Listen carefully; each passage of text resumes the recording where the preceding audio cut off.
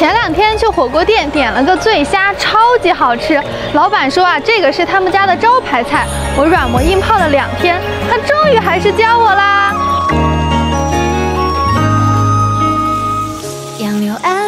春风吹起水色涟漪。今天呀，就把这个制作方法分享给你们。首先啊，把鲜活的虾洗干净，然后准备好配料。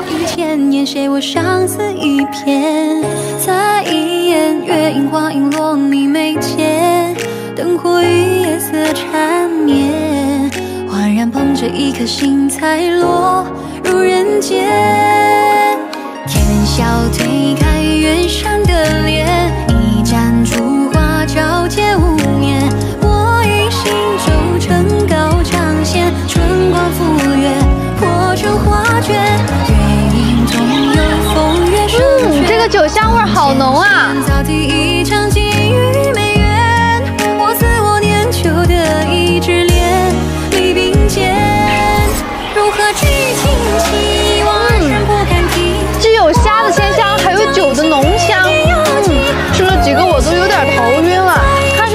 千万不要吃哦不开车的朋友们就赶快坐起来吧。